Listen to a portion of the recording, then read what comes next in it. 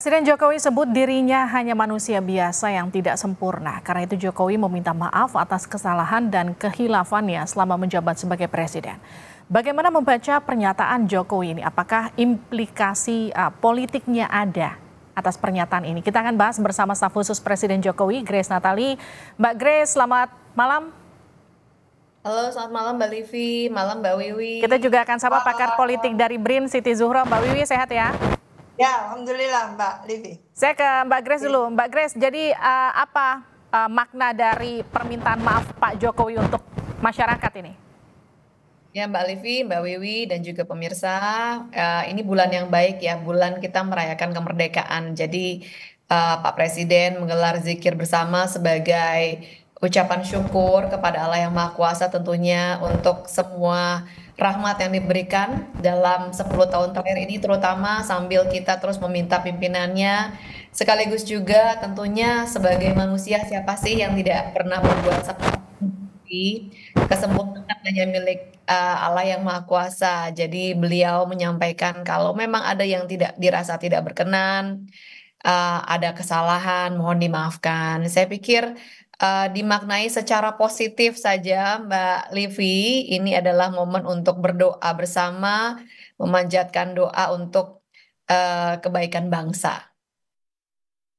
Mbak Grace, apa yang men-trigger seorang presiden tiba-tiba minta maaf begitu dan menyebut uh, saya manusia biasa yang juga punya kekurangan. Apakah kemudian ada yang memicu sampai kemudian Pak Jokowi harus minta maaf seperti itu? Ya, ya momennya saya pikirkan uh, memang berdoa bersama uh, ya sambil mengucap syukur juga bermaaf-maafan. Tidak ada peristiwa khusus yang harus melatar belakangi. Saya pikir uh, Mbak Livi. Baik, saya ke Mbak Wiwi. Mbak Wiwi, kalau Mbak Wiwi sendiri membaca makna dari permintaan maaf Presiden seperti apa? Ya, kali ini Pak Jokowi hadir dengan Wapres. Jadi Presiden dan Wapres uh, ada di acara zikir ya. Dan di acara, zikir tadi itu ada pernyataan permohonan maaf. Lah, ini apakah gitu ya? Uh, Pak Jokowi ingin mencairkan komunikasi politiknya dengan publik luas. Hmm. Uh, karena bagaimanapun juga sebagai seorang presiden, kepala negara, kepala pemerintahan pastinya mengikuti perkembangan ya, perkembangan politik kita gitu ya, perkembangan kehidupan bernegara kita khususnya tahun ini tahun yang panjang, tahun politik yang sangat panjang. Betul kan Mbak Kris? Panjang banget gitu ya. Karena panjang seperti itu tentu gitu ya. Uh, setelah pemilu kemarin ya banyak kekecewaan. Memang ada yang puas tapi juga sebagian juga masih kecewa, masih tidak puas dan sebagainya. Lalu muncul bahasa ada nawa dosa gitu ya. Dan itu pasti terdengar oleh Pak Jokowi. Ah, oleh karena itu bisa jadi perkembangan yang men-trigger mendorong sehingga Pak Jokowi sampai pada ucapan permohonan maaf dan sebagainya tadi itu ya karena memahami apa yang uh, sedang terjadi di tengah masyarakat seperti itu sehingga melakukan satu komunikasi politik dengan meminta maaf itu antara lain. Kalau saya harus dibedakan bahwa Pak Jokowi menyampaikan ini mungkin apakah atas nama negara, atas nama oh, tentu ya uh, institusinya adalah eksekutif dalam hal ini. Apakah secara individual normatif ataukah secara formal institusional. Tentu kalau formal institusional tidak di tempat zikir gitu. Nah, itu yang Karena, saya mau tanyakan ke Mbak Grace. Ya. Jadi ini permintaan maaf secara pribadi atau mewakili uh, pemerintahan Jokowi Maruf? Ya, Mbak Livi dan juga eh, Mbak Wiwi, saya pikir uh, tidak bisa dipisahkan beliau sebagai seorang pribadi dan juga sebagai seorang kepala negara. Dan kalau tadi Mbak Wiwi katakan rasanya tahun ini panjang, kalau kalau buat saya kok rasanya cepat sekali, pendek sekali Mbak Wiwi. Uh, dan ada banyak dinamika saya pikir akhir-akhir ini yang memang begitulah ya kalau ada momen-momen pemilihan terutama kan, apalagi pemilihan yang sifatnya nasional. Ya. Ini tentu memicu dinamika yang luar biasa kepada masyarakat kita. Masyarakat yang biasa-biasanya tidak mengikuti politik pun tiba-tiba tune in di politik dan terkadang Oke. Okay. terjadi adalah di elit politiknya sudah selesai tetapi hmm. di di bawah nih di akar rumput hmm. mungkin masih ada sisa emosional yang yang tersisa gitu kan. Jadi saya pikir Pak Presiden ingin juga uh, apa memberikan closure atau penutupan yang baik ya apalagi masa transisi ini berdekatan dengan hmm. momen uh, pemilu yang begitu mengharu biru apa pun itu semua keresahan, keluhan masyarakat itu Pak Presiden dengar kok. Okay. Dan beliau tidak pernah berkeberatan, malah mengucapkan maaf kalau memang ada yang tidak berkenan dan wajar saja. Demokrasi itu kan memang pasti bising hmm. begitu ya. Jadi uh, saya pikir tidak bisa dipisahkan uh, dari beliau sebagai seorang manusia, sebagai seorang pribadi dan sebagai seorang kepala negara dan beliau mendengarkan masukan-masukan, keluhan-keluhan oleh karenanya kalau dirasa ada yang masih kurang beliau meminta maaf. Baik. Jadi acara zikir bersama ini sengaja didesain untuk momentum seorang uh, presiden meminta maaf pada rakyatnya. Ini bulan kemerdekaan, Mbak Livi. Uh, jadi uh, momentum yang baik ya mm -hmm. menjelang kita akan merayakan 17 Agustus, kita akan merayakan 17 Agustus yang pertama juga di negara baru baik. begitu ya. Mm-mm. Ini yang kemudian jadi pertanyaan saya kenapa? Karena kan dulu kalau kita ingat Pak SBY kan minta maafnya di pidato terakhir sidang MPR DPR. Jadi closing begitu sekaligus mau minta maaf. Tapi ini kan justru di, di, dipercepat oleh Pak Jokowi. Ini yang kemudian jadi pertanyaan. Apakah kemudian momentum ini memang sengaja di create atau didesain untuk momentum uh, Pak Jokowi minta maaf begitu Mbak Grace? Ya, kan tidak ada standar baku ya harus berbarengan dengan uh, momen pidato dan sebagainya. Nampaknya mungkin untuk momen pidato nanti akan ada substansi yang berlainan sehingga dirasakan lebih pas jika uh, disampaikan dalam momen yang berbeda. Nanti tunggu aja untuk uh, pidato kenegaraan yang terakhir sebelum transisi. Baik, Mbak Grace, tapi kan gini, uh, ketika Pak Jokowi menyampaikan permintaan maafnya, ini kan muncul reaksi uh, positif negatif ya, pro kontra. Ketika uh, PKB menyatakan, oke okay, minta maaf, tapi momentumnya nggak tepat. Kalau versinya Pak Jazilul menyebut um, ada janji-janji Pak Jokowi yang belum diselesaikan. Jadi bagaimana uh, dengan penuntasan janji di sisa masa kerja Pak Jokowi nanti setelah minta maaf ini? Ya, janji yang mana nih? Kita nggak tahu nih hmm. persis yang dimaksudkan apa. Tapi banyak pencapaian-pencapaian beliau yang tidak bisa dipungkiri terbukti dari tingkat kepuasan masyarakat yang menjelang masa transisi itu justru semakin tinggi. Ini dibuktikan juga oleh uh, apa survei dari Litbang Kompas sendiri.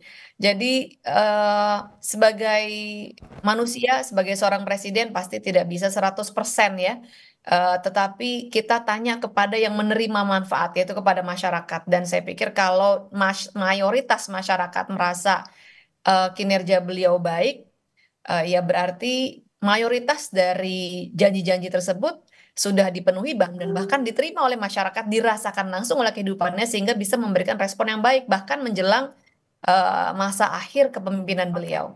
Saya akan Mbak Wiwi, Mbak Wiwi sebenarnya kan permintaan maaf uh, seorang presiden di akhir masa jabatannya itu adalah hal yang biasa. Kenapa kemudian ketika Pak Jokowi minta maaf muncul respon pro dan kontra? PKB bilang masih ada janji yang harus dilunasi, PDIP bilang uh, terlambat minta maaf sekarang. PAN mengapresiasi ya. permintaan maaf sebagai negarawan. Kenapa muncul hal-hal seperti ini Mbak Wiwi? Ya, uh, saya mencoba ya uh, melihat dari kacamata masyarakat ya uh, ini. Jadi saya berusaha akan apa adanya gitu. Contoh ya. Jadi kalau memang betul ya kepuasan itu sangat mendominasi masyarakat, tentunya tidak perlu ada pro kontra.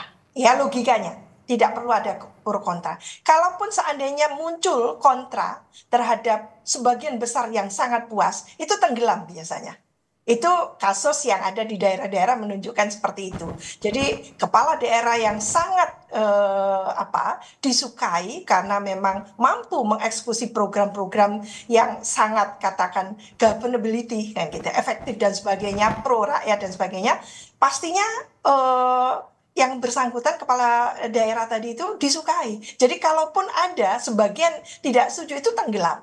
Nah, ini yang tidak terjadi pada eh, katakan gitu publik luas terhadap Pak Jokowi. Sehingga muncul eh, istilahnya perdebatan-perdebatan itu. Pak Jokowi ingin cooling down secara politik sehingga menyampaikan permintaan maaf dan kali ini kita menyaksikan membawa Pak Wapres Pak Ma'ruf Amin kan gitu ya.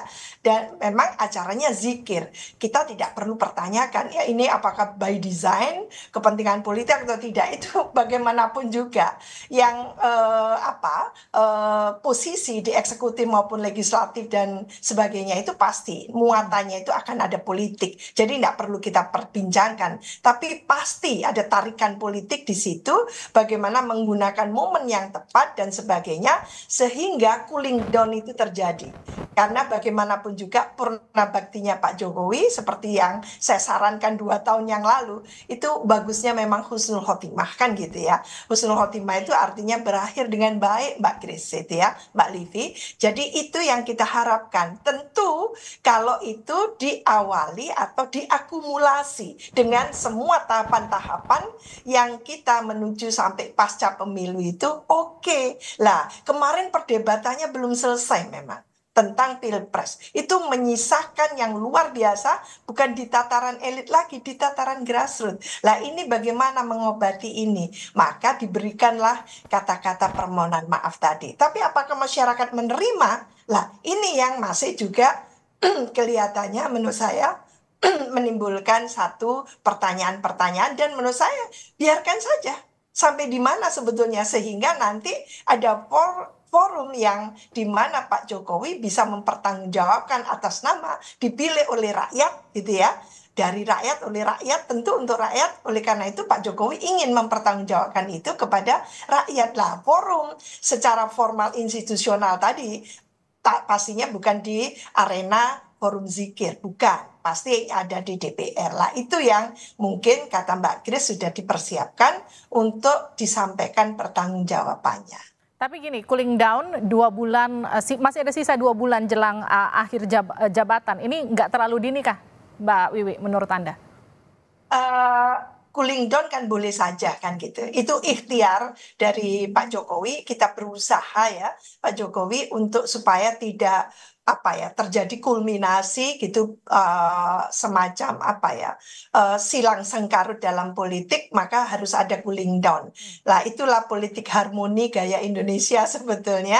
Tidak sampai uh, meletus gitu sehingga harus ada cooling down. Lah apakah ini berhasil lah ini yang tentu uh, masih menyisakan ya karena antar elit sendiri Pak Jokowi dengan beberapa elit juga belum clear kan gitu. Apalagi di tataran grassrootsnya ini Mbak Kris. Ini menurut saya akan cukup serius kalau tidak dilakukan secara juga serius tahapan-tahapan itu. Jadi tidak cukup apa yang disampaikan melalui zikir tadi, tapi tentu itu positif gitu ya. Tapi tidak cukup, tidak memadai karena masih akan dimaknai ah terlambat, ah hmm. terlalu dosanya terlalu banyak dan sebagainya, ah ah yang lain dan inilah arenanya di mana pemerintah gitu ya atas nama eksekutif atas nama kepala negara dan kepala pemerintahan beliau yang bertanggung jawab bukan menteri memang beliau yang Pak Jokowi yang harus bertanggung jawab. Nah itu Mbak Grace yang jadi pertanyaan merespon juga tadi pernyataan Mbak Wiwi dan juga pernyataan PDIP Mas Ciko yang menyatakan permintaan maaf Pak Jokowi ini terlambat.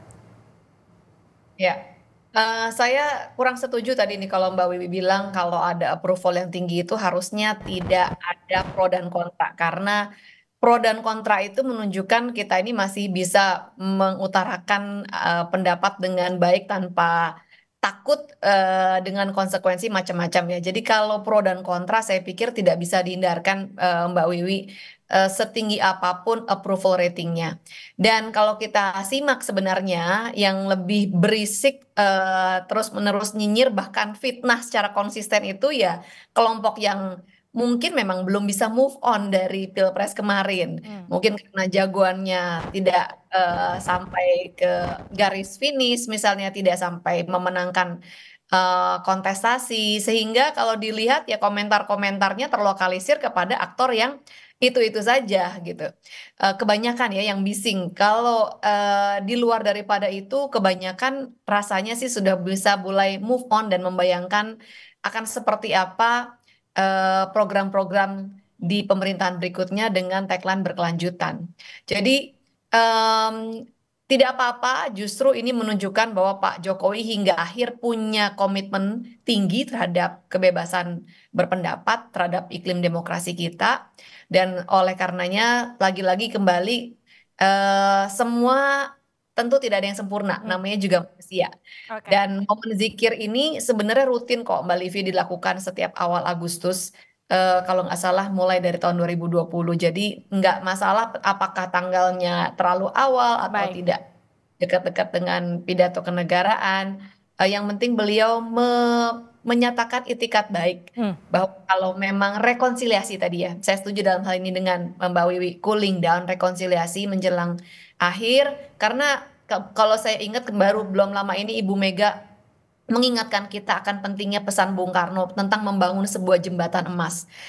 Jembatan emas itu satu-satunya cara agar bisa terbangun adalah kalau kita kolaborasi sama-sama, stop nyinyir dan fitnah, tapi hmm. kerja bareng-bareng untuk bisa membangun jembatan emas menuju Indonesia maju.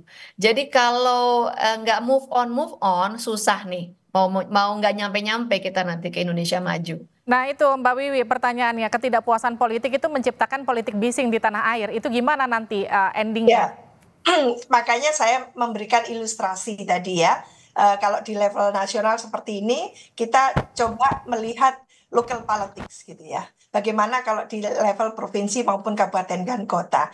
Maka saya katakan tadi itu kalaupun ada pro kontra pasti itu Mbak Grace. Saya setuju itu.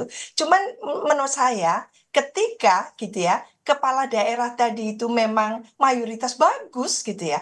Jadi yang tidak suka uh, karena kompetisi kontestasi kan gitu, itu tenggelam mbak. Dengan sendirinya tenggelam. Apa yang terjadi di Banyuwangi tenggelam, yang oposisi gitu kan. Karena apa? Memang konkret kok, nggak ada yang dimanipulasi. Surabaya, Bu Risma, nggak bagus juga. Nggak bisa diakui. Bu, Bu Risma nggak ada. Bagaimana? Beda pasti kan gitu. Lah, itu antara lain maka kita menyaksikan wah pilkada untuk periode keduanya uh, calon kepala daerah yang berhasil itu uncang-uncang kaki banget gitu Benar itu. Dan dia itu nyaris calon tunggal kan gitu. Karena apa? Karena menjadi preferensi masyarakat luas dan diakui kemanfaatannya. Lah itu yang mungkin masih dipertanyakan untuk Pak Jokowi. Karena apa? Yang beredar luas yang dirasakan itu contoh. Mengapa kok harus gitu ya? Putranya sendiri diusung gitu ya. Sementara dari cuman wali kota mendadak langsung seperti itu dengan mengubah umur. Itu contoh. Okay. Nah, mungkin kalau kita bisa nerima, sebagian besar kita belum.